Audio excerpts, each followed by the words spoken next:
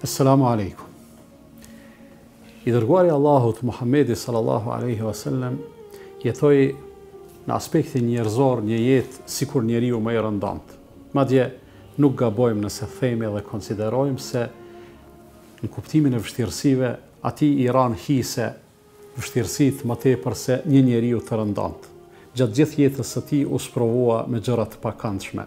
Madje, edhe atëherë kur, si rezultat i përzgjedhjes hyjnore, u bë Pejgamberi i Zotit, që realisht për një njeri është shkalla më e lartë, jo që e arrin njeriu, por që e përzgjedh Zoti Fuqiplotë, edhe atëherë, U sprovua shumë dhe një herë rrinte në shoqëri me bashkëshorten e tij Aishën radijallahu ta'ala anha. Bisedonin një bisedë të ngrohtë, përplot ngrohtësi dhe emocione, përplot dashuri dhe dashamirësi. E pyet Aishja radijallahu anha i thotë o i dërguari i Allahut, a ka ndonjë ditë, a ka ndonjë situatë në të cilën ti ke kaluar më keq, ke përjetuar diçka më rëndë sesa ke përjetuar në betejën e Uhudit?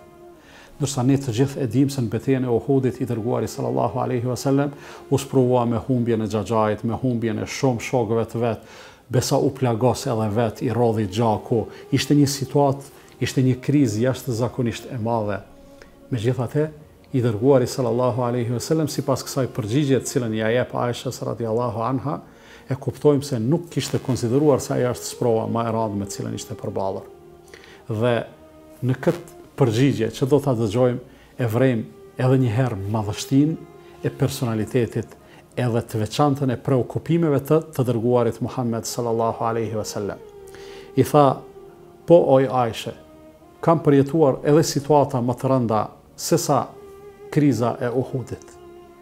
Ndër to, është edhe ajo dita kur thotë unë shkova në Taif Dhe ia paraqita thirrjen, kumtesën, mesazhin, tre personave të cilët ishin elitarë, ishin njerëz me me ndikim, njerëz me autoritet, megjithatë ata më refuzuan, më përgënjeshtruan, Madje i nxitën fëmijët dhe mendjelehtit edhe të më shqetësojnë, edhe të më torturojnë, e kishin, besa e kishin gjuat, e kishin gjuajtur me gurë, e kishin përgjakur, dhe ashtu i mërzitur dhe i pikëlluar i dërguari sallallahu alaihi wasallam, e kishte marrë rrugën e kthimit nga Taifi. Dhe thotë nga mërzia dhe pikëllimi i madh nuk nuk kam ditur se kah po më çojnë këmbët deri sa e kam pa vetën në një vend të cilin e përshkruan me Qarnu Thaalib.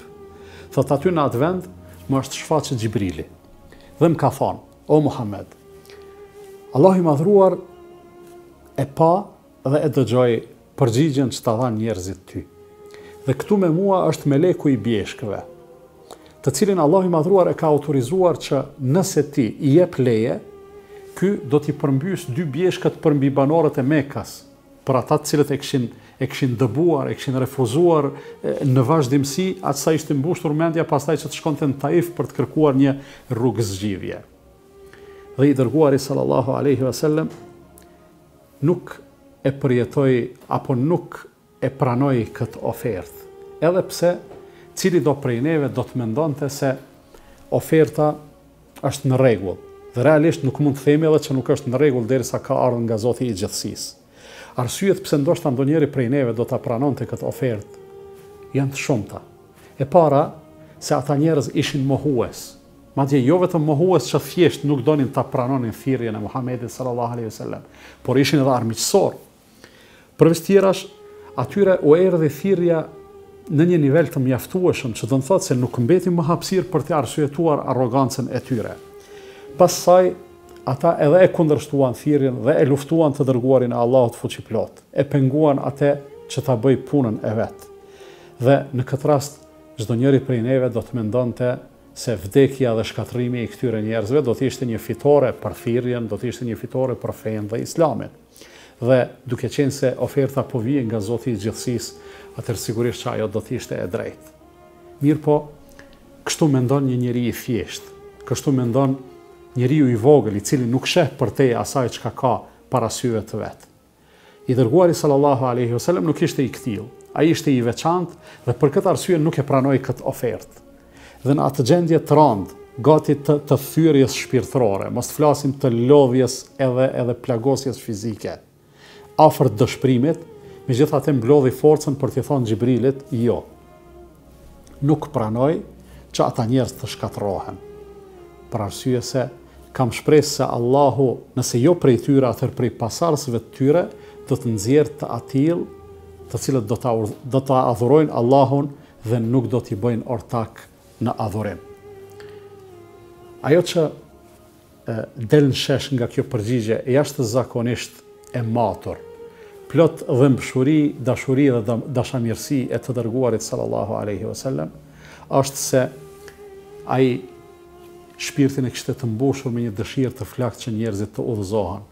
Ajo dëshirë e kishte pushtuar shpirtin dhe zemrën e tij saqë nuk kishte lënë vend për urrejtje, nuk kishte lënë vend për dëshirë për hakmarrje, nuk kishte lënë vend për ngadhnjim të egos mbi të tjerët të cilët i bënë zullum dhe kjo dëshirë thjesht ishte e skajshme sa që e kishte tejkaluar komplet dimenzionin e qenies njeri tek personaliteti i të dërguarit sallallahu alejhi ve sellem andaj nuk prano nuk pranoi në asnjë mënyrë që të ndodhte shkatërrimi i tij për arsye se misioni i tij ishte i mbazuar mbi bazën e mëshirës fryma e misionit të tij ishte mëshira Allahu i madhëruar thotë Wa ma arsalnake illa rahmatan lil alamin, Ne të dërguarëm ty vetëm mëshirë për botët. Ishte i durueshëm dhe mbi të gjitha e kuptojmë se feja islame është feja e cila ngrithet mbi baza të bindjes personale.